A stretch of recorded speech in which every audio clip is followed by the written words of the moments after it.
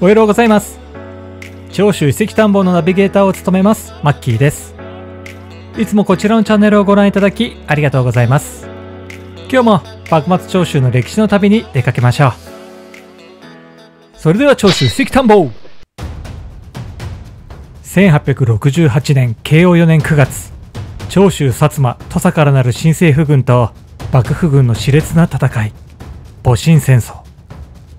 この戦いで若い命を散らした会津藩の部隊がありました。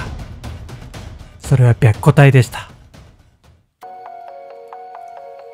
はい。こちらは山口県萩市唐木町にある唐木地蔵堂です。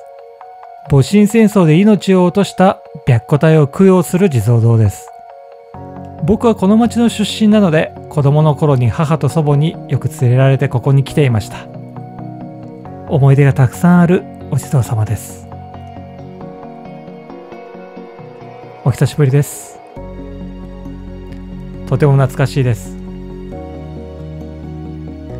町内会の婦人部が毎朝線香や花式火やお茶などを絶やすことなくお供えし白虎大使の供養をしています。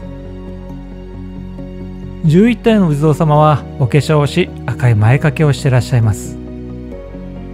祖母が昔は前掛けが光ってたと言ってましたが不思議ですね。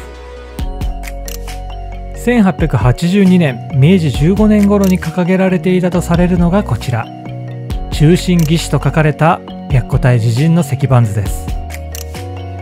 誰がいつ頃こちらの地蔵堂を建てたのか定かではないようです。わあ懐かしい。こうやって昔から式火が置いてありましてこうやってお水で濡らして祖母に式火で頭を撫でてもらい手を合わさせてもらいました。長州と会津の間には悲しい戦いの歴史があります。僕は生まれも育ちも萩の長州人ですが白虎隊に対する思いは幼い頃からあります。萩の先人たちが残した白虎隊を供養する唐地蔵堂。未来英語を供養し次の世代に伝えてまいりましょう。はいそれでは次回の長州史跡探訪でお会いしましょう。最後までご視聴ありがとうございました。